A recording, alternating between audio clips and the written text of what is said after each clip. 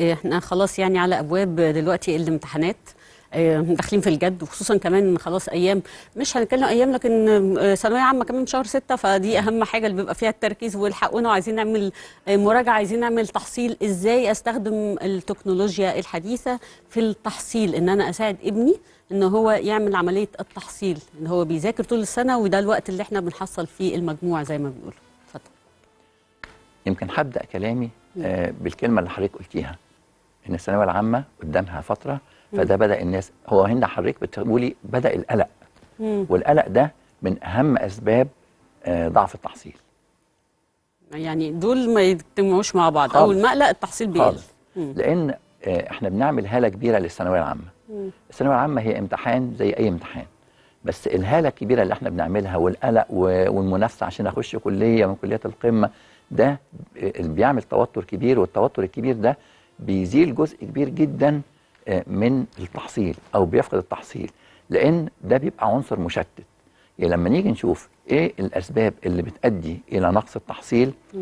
هنلاقي لازم لازم في أي مشكلة نحط لها الأساس بتاعها علشان نعرف نحلها حقيقي ممكن نلاقي المدرسة نوصفها صح نوصفها صح ممكن مم. نلاقي إن المدرسة مش جاذبة مم. ممكن نلاقي إن الأسرة يا دكتور فيها نوع من المدرسة التفكك مش جاذبة يعني بالنسبة لكل لا الناس عمرنا مدرسه مش. جاذبة أصل المدرسة جاذبة أو مش جاذبة. دي ممكن ترجع آه، إلى مدرس آه.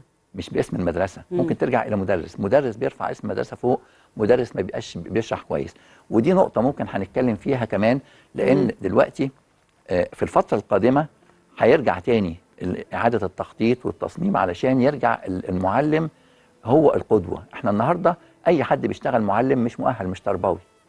فده جزء بيدرس في كلية التربية.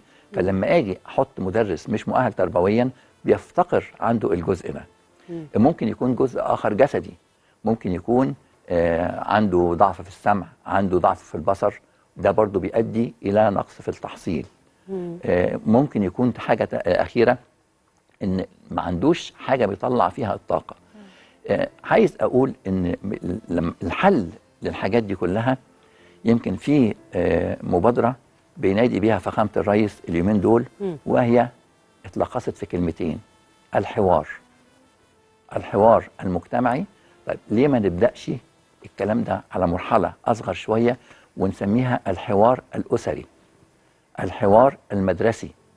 لأن طول ما أنا عندي حاجة كبت جواه أو مكتومة فبالي مشغول. بذاكر وأنا بفكر في حاجة تانية. طب هستوعب إزاي؟